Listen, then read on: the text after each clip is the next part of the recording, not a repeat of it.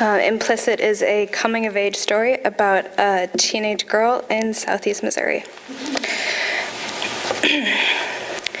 In the years before my aunt's house was a house, it was a swamp. In the 1980s, Camden decided to expand its middle class suburban districts as far as it could push them. Over a period of two and a half years, the same ranch style house was repeated outward in a grid formation over land that once was wasted on grass and trees.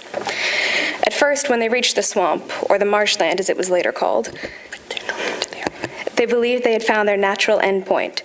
But the men who had initially invested in the project saw that they could squeeze money out of the marshland by building cheaper versions of the same house and selling them off for less. Thus, enabled by a move of brilliant corporate greed, the upper threshold of the working class found itself landed in houses with variable rate mortgages and fairly strenuous flooding problems. My grandparents bought a property then, and my grandfather spent the last 10 years of his life waterproofing the basement.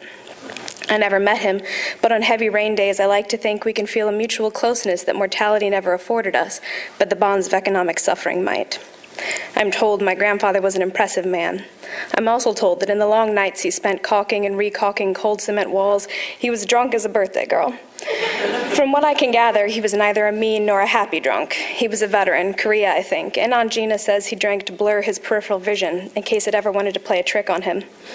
I have to take her word on this. I only met his wife, my grandmother, a handful of times, and she wouldn't speak a single word about him. My mother wouldn't either. In the basement of Aunt Gina's house, summer always carried a certain smell, a mix of skunk spray and cat shit and mold. Even with all that perfect, detailed caulking, you could never escape the lazy, lingering smell of mold. It clung to the air like ivy in the lungs, creeping in and slowing the body. My, moon, my room in the tiniest corner of the basement was trying its best to freeze me to death.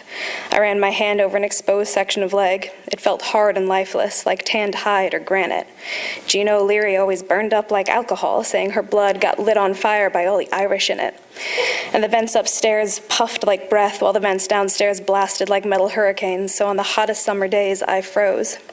I put shitty torn up towels over stained cement floor because it hurt too much to walk on it straight, and I muttered bitterly about the thick shag carpeting in Gina's room and how my whole damn life was a fucking endurance test.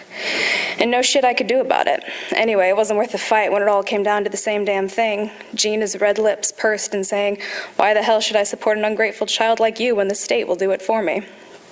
In August, I slept a lot. Today, I'd been asleep for the sunny hours, so when the alarm on my watch went off to remind me that Jamie was coming, I had mutated into a lump of hair tangles and dirty boxers. I rolled over and left the room. I didn't look pretty in Camden. Even when I put on makeup, I didn't know how to do it right. I could look like a slut, but I didn't know how to do it just to look pretty. All the other girls in town had been painting themselves since elementary school, so I never stood a chance. Anyway, the other girls were all celibate until pregnant Midwestern Lutherans.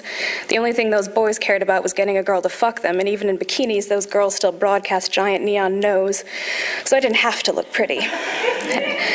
As I finished, I heard a car horn blare outside, echoing through the now empty house. I grabbed my messenger bag and climbed the stairs. Upstairs, Gina's five dogs slept like a pack of neutered wolves in the living room, one on top of another like fallen dominoes, cogs in a dog machine.